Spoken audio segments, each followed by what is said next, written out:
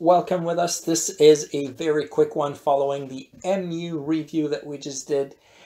And this is about SQ. We talked about it in our morning podcast that we air every Tuesdays and Thursdays. Um, we talked about SQ that it reached a bottom. Look at this daily chart and look at this.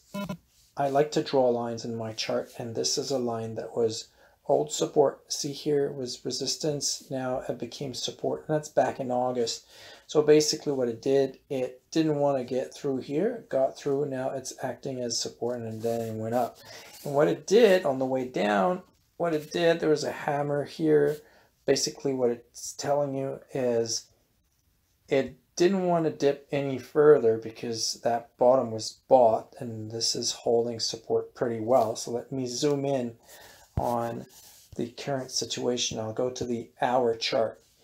Um, hour chart, same line. This is the same uh, level at uh, 247.37. So basically, um, we're looking at support. This is the hammer that you saw on the daily because that bottom was bought, right? And it closed above um, the line. And then it's pretty much hovering on the line. And this morning, what you know, what your risk is here is, you know, if, if we get under here, we may look to see if the hammer is still intact, if we still find buyers at this level, and then we would shoot up. But if you guys like EMAs, SMAs, and all these fancy lines, well, I got one for you. I'll zoom in on this one. So basically you have my line, support line that I showed you before that is here. That's right at the open.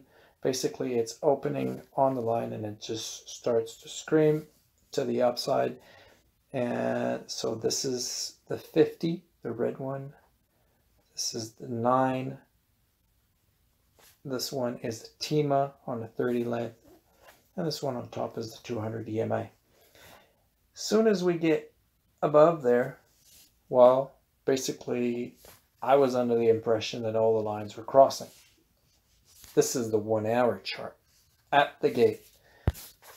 Let me zoom in closer.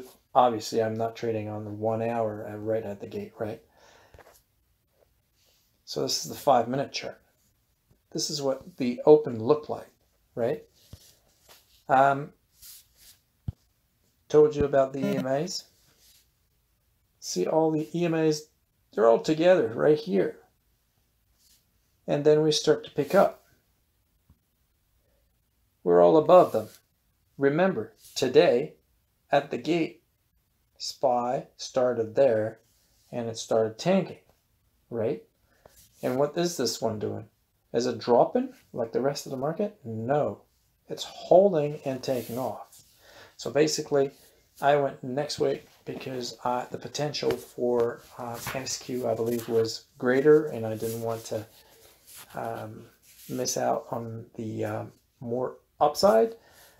But again, when you enter a trade, what do you look for? You look for a target because you have to know when to get out. And if you look at here, basically you have the wick. Don't don't look at um, the, uh, the the levels. Um, I'm I'm using this as a as a uh, as a line to show you the wick at um, 253.32, but this is the line that we were really looking at. See how it's kind of struggling. Let me get out of here for a second.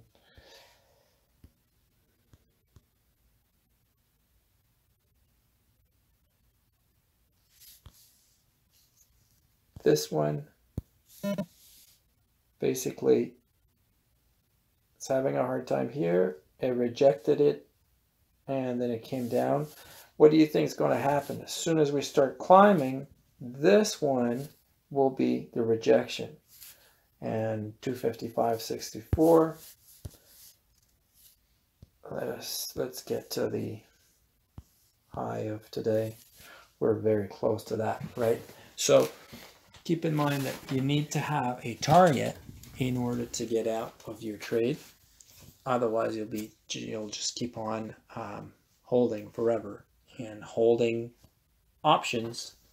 We don't have that luxury because time is against us, especially when you have close expirations. So there you have it. Um, this was similar to MU. However, we used uh, support old support lines and EMAs that are telling us that, oh, we look bullish on this one. Okay, hope you guys uh, are learning from this. And again, um, I really appreciate you watching this. Thanks.